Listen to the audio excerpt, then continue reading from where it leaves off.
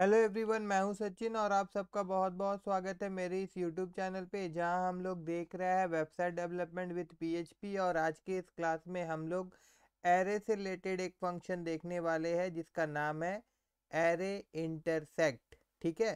तो array intersect का एक फ़ंक्शन नहीं, हम लोग तीन फ़ंक्शन देखेंगे, ठीक है?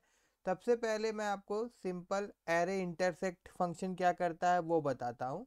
तो ये तो एक नया एरे रिटर्न करता है तो मैं यहाँ पे एक वेरिएबल ले लेता हूँ न्यू नाम से और उसके बाद यहाँ पे जस्ट मैं लिख देता हूँ एरे अंडर स्कोर इंटरसेक्ट और यहाँ पे ये जो दो एरे मैंने बना के रखा है, एक है कोर्स वन और दूसरा है कोर्स टू इसको मैं पास कर देता हूँ। ठीक है? और पास करने के बाद में अब इसको यहाँ पे मैं प्रिंट करवाऊँगा। तो एरे को प्रिंट करवाने के लिए प्रिंट आर फ़ंक्शन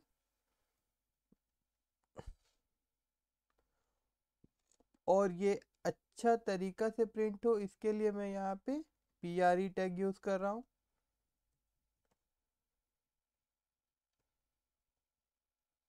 ठीक है?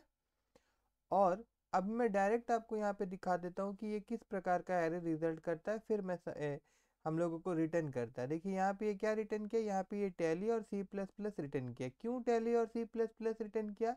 क्योंकि देखिए यहाँ पे टैली और सी प्लस प्लस दोनों सी प्लस प्लस दोनों कॉमन है। मतलब एरे कोर्स वन एरे और कोर्स टू एरे में जो वैल्यू है ना, वो टैली और सी प्लस प्लस क्या है? सेम है।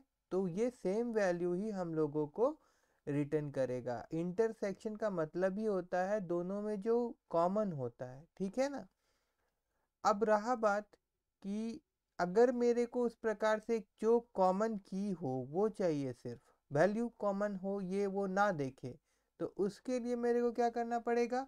दूसरा फ़ंक्शन मैं यूज़ कर सकता हूँ, जिसका नाम है एरे अंडर स्कोर इंटरसेक्ट की तो अब इसका यूज़ अगर मैं कर दूँ तो अब ये वैल्यू को फोकस नहीं करेगा, ये की को फोकस करेगा और मेरे को कॉमन की रिटर्न करेगा।